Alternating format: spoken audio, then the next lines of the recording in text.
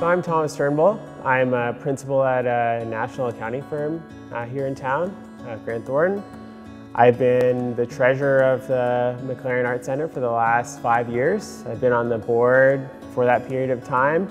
And previously to that, I was part of the finance committee for several years.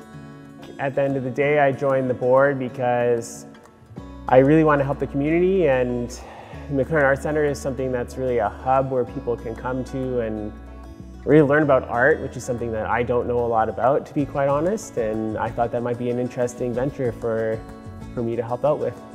What's made MacLaren a special place for me is really the people.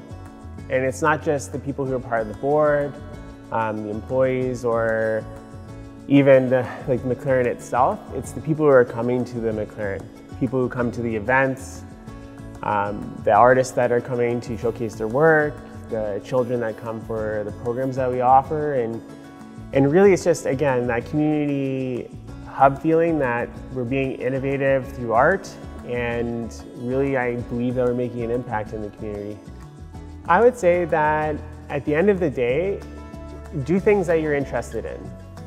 If helping the community, if exploring the arts or even exploring the arts and you know nothing about it is of interest to you, I think this is the place where you can do those things.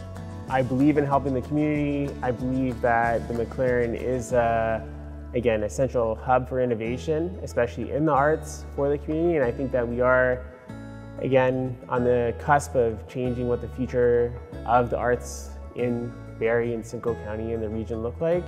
And I think this is the time for change. And if you want to be part of something that's changing in a positive direction for the community, then I think this is the place for you.